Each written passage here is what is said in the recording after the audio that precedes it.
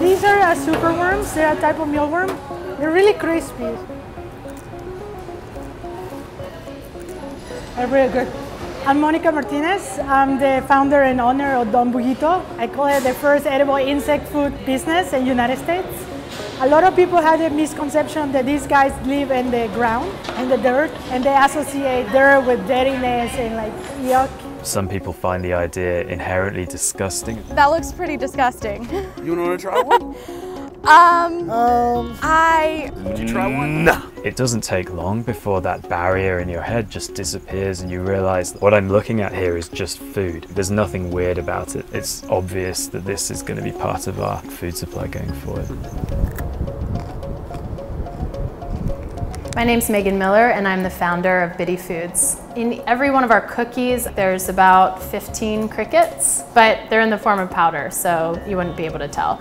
80% of the world's cultures already eat edible insects from Southeast Asia to Latin America to Africa. Basically the Western world is the only holdout. No, I don't eat insects. I've seen other people eat insects, but it's not really something I've ever wanted to try. I'll get my protein from beef, from meat products. I don't want to eat an insect. We're trying to, you know, educate people about the benefits of eating insects, how to maybe slowly start replacing maybe one dish of protein like fish, poultry or beef or red meat and start using insects. Would you try one of these bugs here?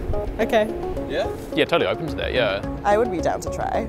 Huh. By the year 2050, there's going to be an additional 2 billion people on the planet. And economists are saying that our current agricultural system can't be scaled to feed all of those people in the way that they're being fed right now. So by introducing an additional sustainable protein source into the food system, we're going to have a lot more resources to feed people. There's this huge chance for insects to form a part of the solution we need to address the problems of food security in the 21st century. We're basically helping take insect farming from pre-industrial levels up to where the rest of modern farming is at. What we're doing right now is trying to get more people raising insects sustainably on a commercial scale so that we can start to get a larger supply so that the edible insect companies will have a supply that we can use to get this food source into the mainstream. We've got to get to the point where insect production happens as part of kind of an industrial process which is heavily automated, doesn't require a lot of manual input from humans and basically physically moving stuff around.